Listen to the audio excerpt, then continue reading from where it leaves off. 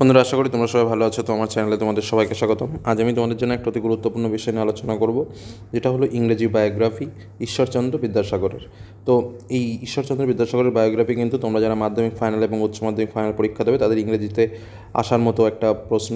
এবং সম্পূর্ণ নোটস ভিত্তিক বিস্তারিত আলোচনা আজ আমি তোমাদের সামনে তুলে ধরছি একদম সিম্পল ল্যাঙ্গুয়েজে খুব সহজসাধ্যভাবে তোমাদের জন্য তৈরি করা এই নোটসটি। তাহলে শুরু করা যাক আজকের আলোচনা। বন্ধুরা তার আগে যারা এখনও চ্যানেলকে সাবস্ক্রাইব করনি তারা অবশ্যই চ্যানেলটিকে সাবস্ক্রাইব করে নাও এবং বেল আইকন ক্লিক করে অল বাটনটি ক্লিক করো চ্যানেলের সমস্ত ভিডিও এর নোটিফিকেশনগুলো পাওয়ার জন্য।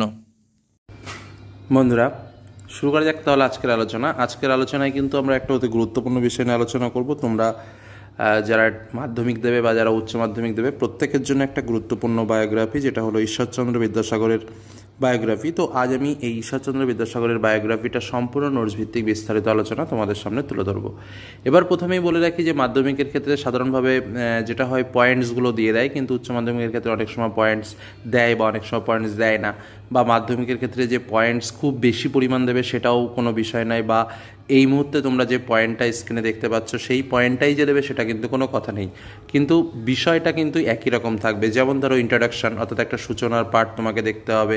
বর্ন কোথায় জন্মগ্রহণ করেছিল বীরসিংহ গ্রাম মেদিনীপুরের আঠারোশো কুড়ি, father Thakurdas Bandyopadhyay, mother Bhagabati Devi admitted in Sanskrit college teacher principal of Sanskrit college ছিলেন ইন্সপেক্টর অফ স্কুল ছিলেন ocean of learning wrote many books তারপরে Barna Parichay father of Bengal prose social reformer stop child marriage started widow remarriage ocean of kindness died in eighteen hundred ninety one তো এইরকমভাবে বিভিন্ন তথ্যগুলো কিন্তু তোমাদের প্রথমে দেওয়া থাকবে।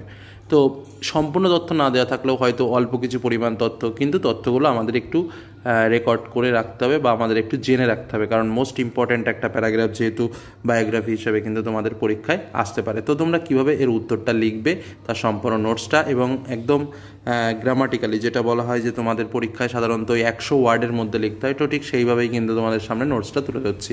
তো তোমরা কি করবে? অবশ্যই খাতার ওপরে একদম খাতার মাঝখানে ঈশ্বরচন্দ্র বিদ্যাসাগর বলে হেডিংটা করবে যথারীতি এবং এবং হেডিং করার পর তারপর কি লিখবে দেখো। Mother India has ever gifted us a galaxy of noble sons Ishwarchandra Vidyasagar was one of them he was born at Birsingha village in Medinipur in eighteen hundred twenty his parents were Thakurdas Bandyopadhyay and Bhagabati Devi he was admitted to the Sanskrit college Later, he became a teacher and also became the principal of the same college. Next, he was appointed as the inspector. Next he was appointed as the inspector of schools. He was called vidyasagar as he was truly an ocean of learning. He wrote many books. Borno Porichoy is one of them. He was the father of bengali prose. He was a social reformer he established many schools for the girls he stopped child marriage and introduced widow remarriage. He was kind-hearted man. He was a kind-hearted man.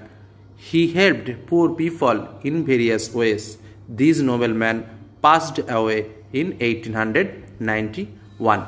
তো এইভাবে তোমরা প্যারাগ্রাফটা সম্পূর্ণ করবে এবং সম্পূর্ণ প্যারাগ্রাফটা একদম খুব ছোট্টর মধ্যে, একশো ওয়ার্ডের মধ্যে আমি তোমাদের সামনে তুলে ধরলাম। তোমরা যে কোনো কেউ খুব ভালোভাবে কিন্তু এই প্যারাগ্রাফটা লিখতে পারো এবং একদম ইজি ল্যাঙ্গুয়েজ যেটাকে বলা যায় সব থেকে সহজতম ভাষায় সব থেকে ছোট্টর মধ্যে কিন্তু এই প্যারাগ্রাফটা তোমাদের সামনে তুলে ধরলাম। তোমাদের অনেকেরই সুবিধা হবে এবং অনেকেই এই প্যারাগ্রাফটা চেয়েছে, যার জন্য তোমাদের সামনে তুলে ধরলাম। তো আলোচনাটি ভালো লাগলে অবশ্যই লাইক করো, বন্ধুদের সঙ্গে শেয়ার করো এবং অবশ্যই বলব যে এই যে প্যারাগ্রাফটা দিলাম বায়োগ্রাফি এই বায়োগ্রাফিটা কিন্তু অবশ্যই নোটস করে দুই একবার পড়ে ফেলো, দেখবে একদম ইজিলি তোমাদের মনে রয়ে যাবে। তো আজকের মতো আলোচনা এখানেই শেষ করছি। ধন্যবাদ।